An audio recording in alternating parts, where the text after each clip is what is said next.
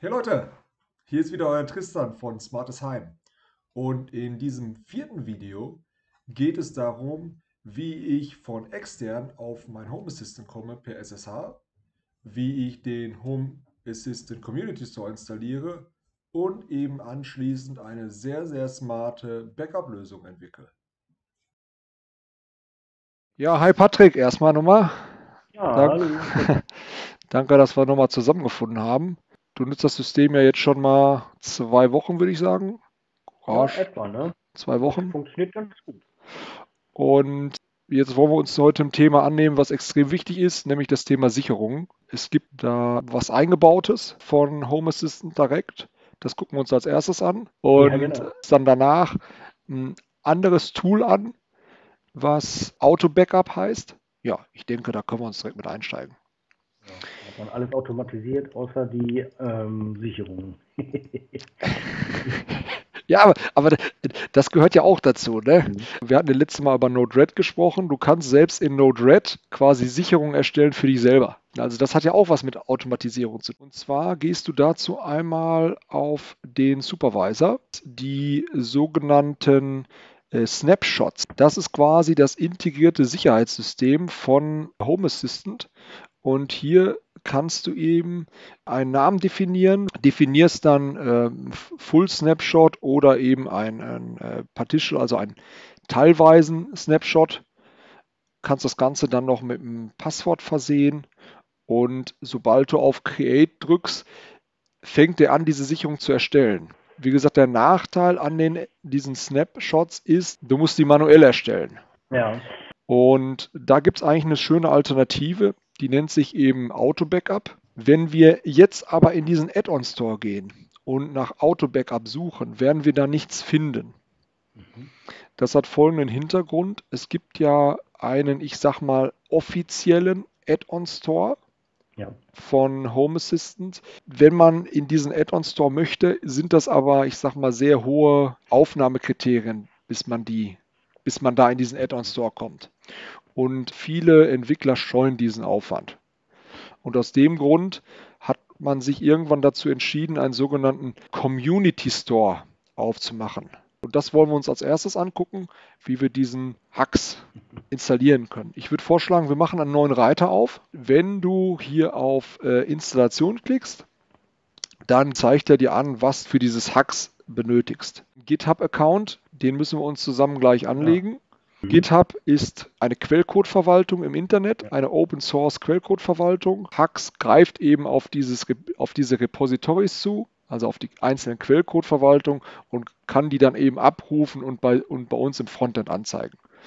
Und die Kommunikation läuft eben über eine Entwicklungsschnittstelle und dafür brauchen wir eben gleich diesen, diesen GitHub-Account. Das heißt, wir müssen uns da gleich einmal registrieren, wenn nicht schon passiert. Dann gehen wir mal in den Bereich der Installation als nächstes. Um das auszuführen, steht auch schon, was wir machen sollen. Wir müssen nämlich erst noch ein weiteres Add-on installieren. Gehen einmal in den Add-on Store.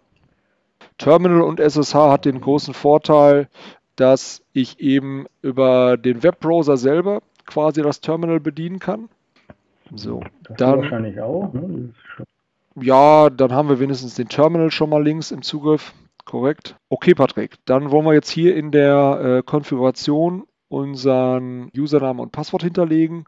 Beziehungsweise hier fangen wir halt an und mach, geben nur ein Passwort ein, weil der Username ist mit root, also R-O-O-T, fest vordefiniert.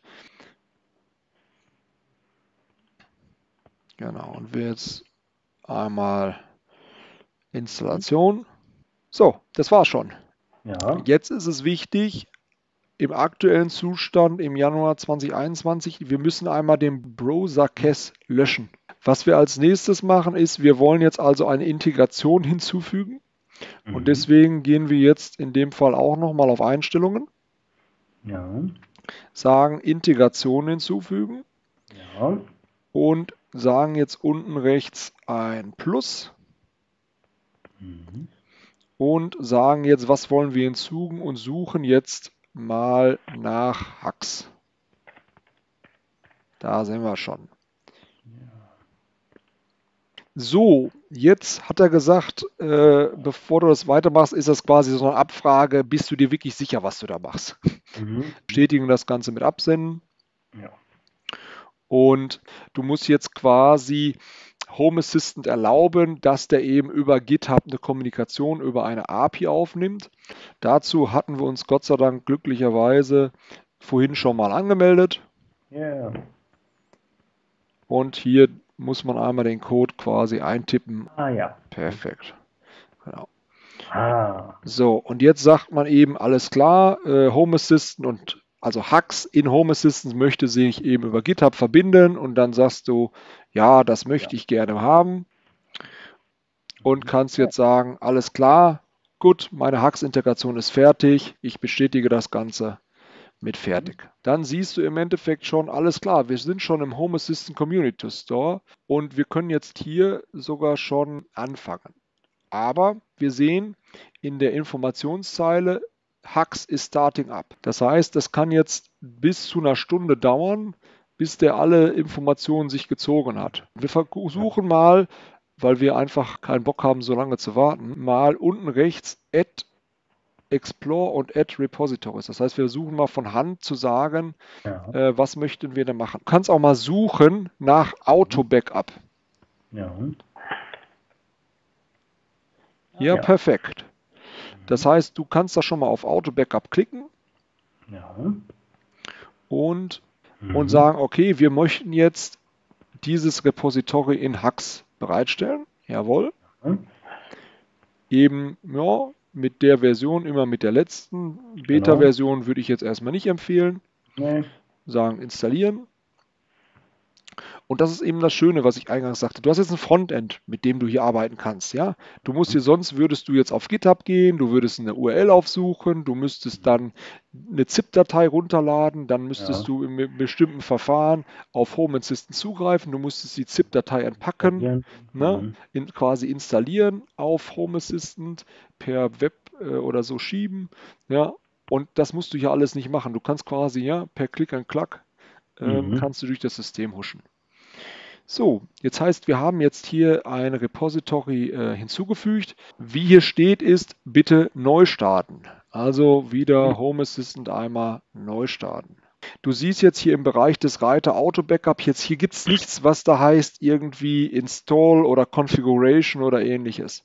Ja, das ist ein Zeichen dafür, dass du Auto Backup in unserer configuration.yaml-Datei konfigurieren musst. Das machen wir am einfachsten über den, unseren File-Editor, den wir installiert haben beim letzten Mal. Mhm. Wir müssen einmal sicherstellen, dass der File, genau, der File-Editor eben entsprechend auf unser configuration.yaml steht. Genau. Configuration. Genau. Und hier wollen wir eine neue Einrichtung machen. Diese Zeile sagt uns also, dass der eben automatisch alte Sicherungen verwerfen soll. Ah, okay. Ja. Mhm. Jetzt ist natürlich die Frage, wann soll er sie denn verwerfen? Das kann ich mit einem Parameter machen. Und dieser Parameter nennt sich Keep Days. Und jetzt kann ich die Anzahl an Tagen definieren, wie lange diese Backups aufbewahrt werden. Ah, okay. Ja, also zum Also Beispiel einen 30 Monat Tage. Mhm. Ganz genau. Immer wenn wir Änderungen an dieser YAML in dieser Konfiguration-Datei gemacht haben, müssen wir einmal Home Assistant neu starten, damit er quasi die frische Konfiguration reinlädt. Das heißt, wir gehen wieder unter Einstellungen, wieder unter Serversteuerung. Jetzt extrem wichtig, einmal auf das Knöpfchen drücken, alles ist in Ordnung und einmal den Server neu starten. Wenn Home Assistant neu gestartet ist, bauen wir Automationen. Automationen haben wir letzte Mal schon gelernt, machen wir in unserem Fall mit Node-RED. Wir können auch einen neuen Flow, also einen neuen Reiter erstellen. Das Mhm. heißt, oben rechts hast du ein Plus, exakt, und das nennen wir vielleicht mal Sicherung und fertig. Und jetzt müssen wir uns überlegen, was triggert eigentlich unsere Sicherung? Okay, das heißt, wenn wir einen Zeitaspekt haben wollen, haben wir letzte Mal schon über die Inject Nodes gesprochen. Mhm. Mhm. Und dieser Eject Node kann ja exakt nicht nur manuell ausgelöst werden, sondern der kann eben auch über auf dem Timestamp ausgelöst worden. Und das machen, nutzen, machen wir uns jetzt mal zu nutzen. Mhm. Klicken da ruhig gerne doppelt mal einmal auf den Timestamp drauf und können jetzt hier ganz unten bei Wiederholen Mhm. sagen, der soll zum, Ba- zu einem bestimmten Zeitpunkt ausgelöst werden. Mhm. Und hier können wir jetzt definieren, ne, an welchen Tagen, zu welcher Uhrzeit soll quasi der Trigger ausgelöst werden. Mhm. Also wann soll was passieren, ne, der Push quasi gemacht werden. Ja. Ich habe das mich angewohnt, im Namen dann auch immer zu schreiben 23 Uhr. Dann weiß man eben von der Optik her aus. Das heißt, dieser Trigger löst eben aus und jetzt muss der ja was machen. So, jetzt kannst du einen Call-Service nutzen. Das heißt, er führt jetzt eben einen, einen Befehl durch. Klicken wir doppelt drauf und Mhm. der Call-Service hier lautet in der Domäne Auto-Backup. Da haben Steht wir's sogar schon. interessanterweise oben vor. Als Service, wenn du da mal reinklickst, siehst du schon, und zwar hast du drei Möglichkeiten. Ich kann einmal ein vollständiges Backup machen, ich Mhm. kann ein teilweises Backup machen und ich kann quasi einen Serviceaufruf machen, dass der alle veralteten Backups löscht. Muss ich nicht machen. Dieser Befehl Purge ist halt integriert auch in Full- und Partial Backup. Wir machen jetzt volle Backups und dann können wir in der Data, können wir ihm noch sagen, wie soll denn jetzt eben dieses Backup heißen. Ja. Mhm. Hier siehst du zum Beispiel Example und dieses Example würde ich auch gerne eins zu eins kopieren. Hier. Mhm. Jawohl. Ähm, und dann gehen wir in die Data und sagen, genau, und gehen nochmal auf die zwei Punkte dahinter. Und das Ganze ist ja quasi der Input für den Parameter Name. Das heißt, ganz am Anfang muss einmal Anführungszeichen Name, Anführungszeichen und Doppelpunkt stehen. Perfekt. Dann wichtig, natürlich den Link zu ziehen, von links nach rechts, Ja. dass die Dinger verknüpft sind. Und wichtig, immer sichern das Ganze, also speichern. Und das heißt ja hier deployen. Oben. Exakt. Ja. Und jetzt können wir das direkt einmal testen, indem wir eben vorne die Sicherung einmal ausführen. Mhm. Das Ganze wunderbar. Und jetzt hat er halt im Hintergrund die Sicherung gestartet. Mhm. Und dadurch, dass du ja noch relativ wenig in deinem System hast, kannst du jetzt mal in die äh, Snapshots gehen des Systems. Ja, und du siehst, er hat schon ein Automatic Backup Ja. erstellt. Haben wir gemacht. Wir haben jetzt im ersten Schritt ein Add-on, das heißt SSH installiert, damit wir überhaupt von extern Zugriff auf das System haben für, ich sag mal, Notfälle. Aber wir haben das in dem Fall auch mal genutzt, um eben über ein Terminal darauf ein Package zu installieren. Das Package hieß Hux. Über Hux haben wir jetzt eben Zugriff auf diverseste Integrationen, die die Community bereitgestellt hat. Es heißt nicht ungetestet, aber eben nicht mit den harten Richtlinien, die vom Hersteller selber kommen.